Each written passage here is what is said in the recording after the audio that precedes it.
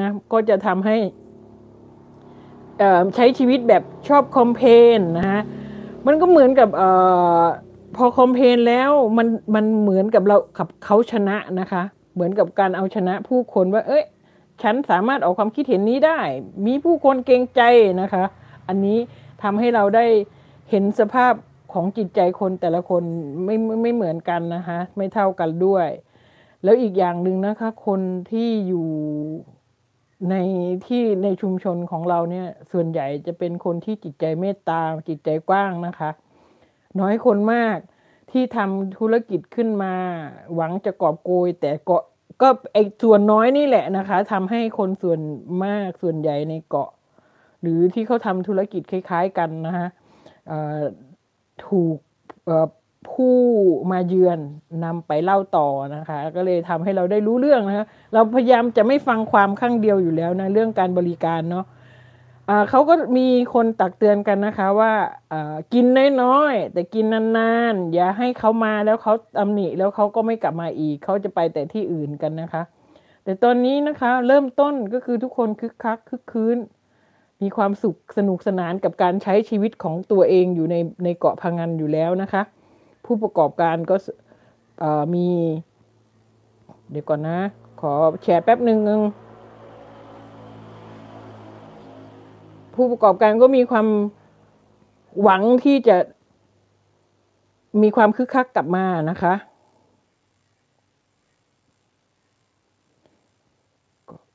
อืม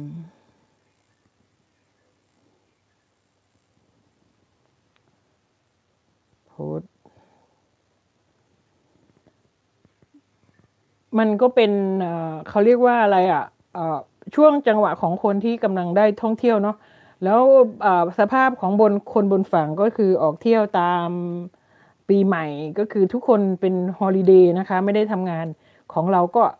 ไม่ได้ทำงานเหมือนกันค่ะ ได้ holiday ไปด้วยในตัวแต่ holiday นานมากนะคะ holiday ยาวนาน ยืนยาวจริง ๆ เลย holiday ของเรา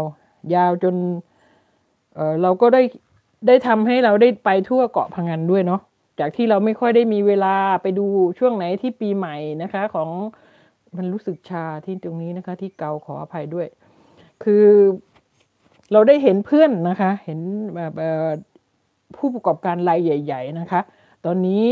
ทุกคนคะท่านใดนะคะ ที่มีลูกหลานอยากจะทำงานการโรงแรมนะคะ คอมเมนต์ไว้ข้างล่างก็ได้ค่ะ เดี๋ยวจะแปะลิงก์ให้นะคะ มีหลายโรงแรมใหญ่ ๆนะคะ ที่กำลังรับสมัครนะคะ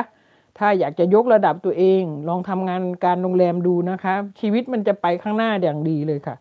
การโรงแรมทำให้หลายคนเด็กๆ หลายคนที่จบมาแล้วเป็นเจ้าของโรงแรมจริงจังนะคะ เพราะว่ายกตัวอย่างก็คือในเครือญาติของเราเนี่ยนะหลานสาวเนี่ยมาทำงานโรงแรมนะคะ แล้วก็มาเจอกับเพื่อนฝรั่งที่ทำงานโรงแรมด้วยกันเนาะ เขาก็มาเอาประสบการณ์ แล้วเขาก็แต่งงานกันนะคะ แต่งงานกันเสร็จแล้วเขาก็ได้ทำบิสเนสใหญ่อยู่ข้างบ้านนี่เองนะคะสามสิบสี่สิบห้องเนาะก็สองคนแต่งงานกัน อันนี้เคยญาติเราเล่าได้ แต่งงานกันแล้วก็เขามีเขามีการจดทะเบียนสมรสนะคะ เวลาเราเขาจะซื้อทรัพย์สมบัติทรัพย์สินอะไรเนี่ยตามกฎหมายไทยอะ่ะ จะไม่มีสิทธิ์เป็นเจ้าของร้อยเปอร์เซ็นต์นะคะ ถ้าแต่งงานแล้วถ้าเราทำเป็นธุรกิจ จะต้องมีหุ้นส่วนอีกหนึ่งเพิ่มขึ้นมาหรือหลาย ๆ คนก็ได้นะคะ ที่เป็นคนไทย จึงจะเป็นเจ้าของธุรกิจร้อยเปอร์เซ็นต์ได้นะคะ ต้องอยู่ในลักษณะของหุ้นส่วนเนาะเขาก็ต้องจดทะเบียนตามที่กฎหมายอนุญาตให้ถึงจะมีบริษัทเป็นของตัวเองได้ แล้วก็ทำธุรกิจแบบท่องเที่ยวเนี่ยมันเรื่องง่ายนะคะ ถ้าเขา พอมีทุนบ้างแล้วก็ต้องเปิดเป็นบริษัทขึ้นมาเนาะรูปแบบบริษัท เราก็ต้องมันเขาเป็นลูกหลานแล้วก็ยังอายุยังน้อย แล้วทุกคนเขาตั้งใจทำงานนะเราก็เลยสนับสนุน ด้วยการร่วมหุ้นเป็นทุน เป็นผู้ร่วมหุ้นเพื่อให้เขามีสิเขามีสี่สิบแปดเราได้ห้าสิบสองนะคะ คือร่วมไปก็ได้ครบร้อยเปอร์เซ็นต์เนาะก็ทำให้เขาได้รู้จักการใช้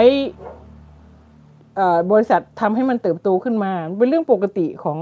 ทุกคนที่เปิดบริษัทมา แล้วก็จะมีข้อกฎหมายให้เราได้เรียนรู้ไปเรื่อยๆนะคะ เดี๋ยวบันทึกไฮไลท์ก่อน